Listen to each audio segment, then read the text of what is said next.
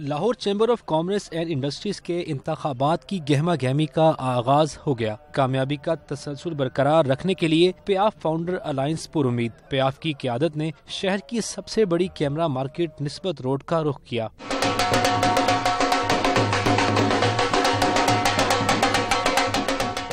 Senior vice chairman پیاف Nasir حمید خان نے وفد کی قیادت کی۔ سینئر رہنما فاروق افتخار، محمد علی میاں، خواجہ خاور رشید ذیشان خلیل، کاشف انور بکار احمد میاں، عتیق الرحمان اشرف بھٹی اور صدر تحریک انصاف ٹریڈر زونگ لاہور طارق فیروز بھی وقت میں موجود تھے۔ نسبت روڈ کے تاجر رہنماؤں نے وفد کا بھرپور استقبال کیا۔